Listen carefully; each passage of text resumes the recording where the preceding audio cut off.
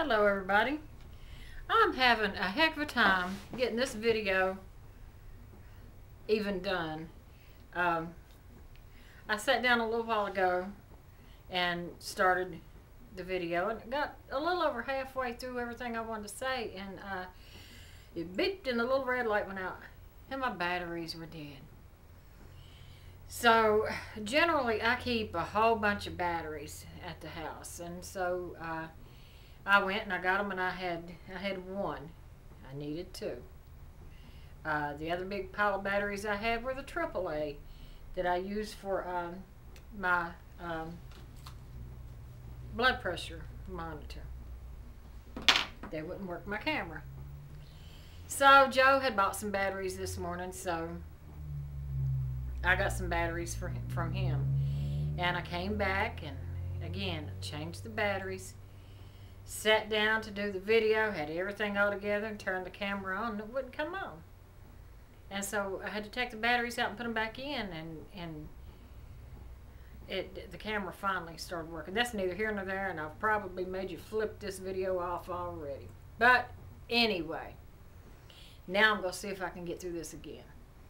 Uh, in the news, they've been talking about uh, Elisa Baker.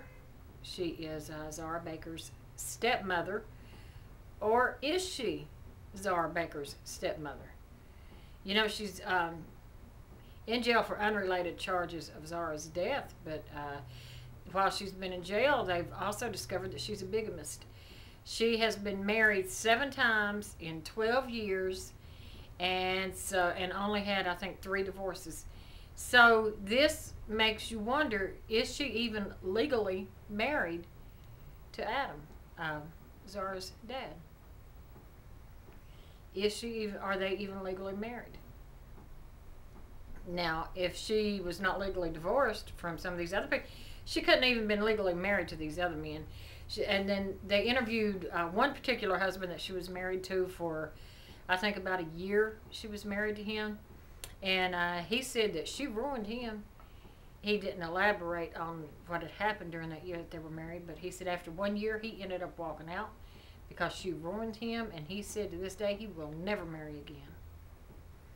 And it's like this. I've heard I've heard some people say that, and I know some people's been through a bad marriage, and they say, "I'll never marry again. I'll never do that again." Is what they'll say.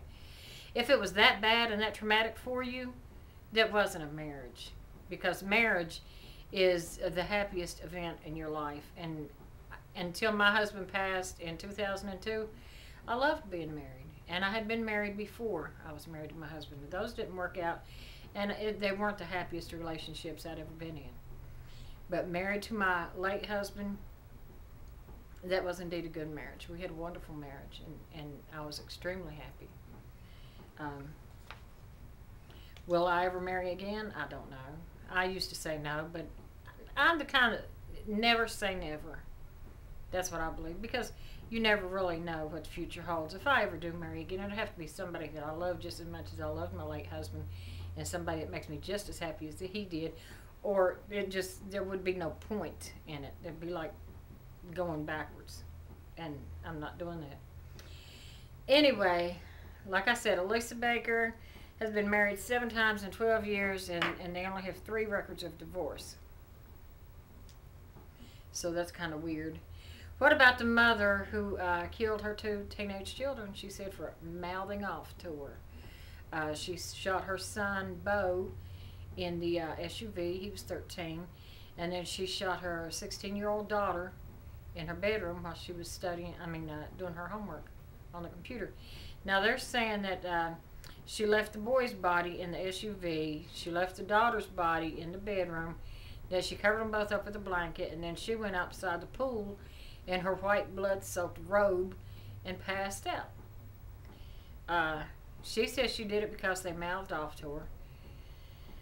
Now, there, I guess she's going to have some some attorney. Who are the attorneys for these people? Is what I want to know because apparently, what her attorney is saying, her husband is serving in the military, and you know how they talk about how when the military men and women come back, how they've got these psychological problems. Well, they're saying that um, this might be true in her case because her husband's in the military and she's raising these teenagers alone. Hello, there's tons upon tons of women raising their kids alone. Come on now. They don't all fly off the handle and kill them just because they mouthed off. That being the case, the world's population would go way down. But anyway, the girl's daughter was 16. And I wish I could remember her name, but it's a funny name, and I really can't remember it. But uh, they said that her daughter had gone to the uh, school guidance counselor and to the principal, I think just, just a few months before this happened and was complaining about her mother. She said that her mom had beat her, that her mom had smacked her, and that uh, she was scared of her mom, and that her mom was smacking her and her brother. Uh, the school says that they uh, contacted social services. The social services went to the home and said, according to social services, nothing was done because they said it is a parent's right to discipline their child, as they put it, with corporal punishment as long as you don't leave bruises or marks. And therefore, they didn't do anything to the woman, which I can understand, you know, not doing anything to her, even if she was spanking her children or whatever. But the 16 year old girl was scared of her mom. Now, I'm not sure what they could have done, but they they could have done a little bit more than that, I think. Because now, look what happened. However, then there was another case, this woman who uh, let her, her baby die. I think the baby was 14 days old. Um, was apparently in a carrier on a table.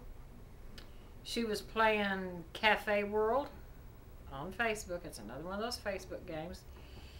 And the baby fell off onto the floor. Now, uh, she had originally told the paramedics that the dog did it.